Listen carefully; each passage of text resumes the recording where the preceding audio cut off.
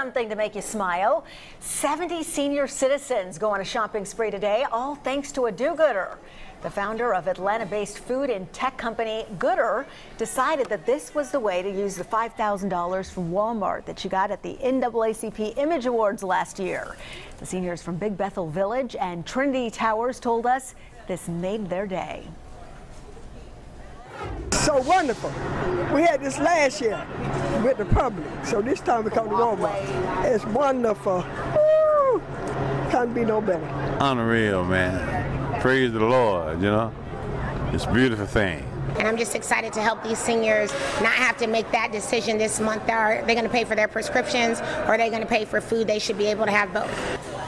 Well, seniors loaded up on food, clothes, medicine, and more. This is the third time that Goodr and Trust and Trinity have taken seniors on a shopping spree. great to see them so happy.